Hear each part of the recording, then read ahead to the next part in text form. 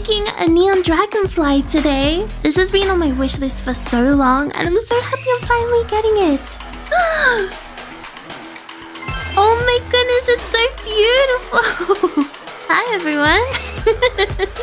it's so pretty and pink. It's going to the dark.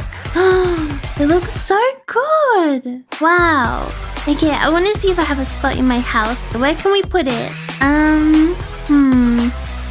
Nice. Maybe we'll keep it up there. Yeah. Oh, it's such a pretty pet. I'm so happy I have it. Another bug for my collection. so cute. It fits in with my butterflies so well. Look at everyone here. you want honey? Okay, let's give some honey out. Honey for everyone.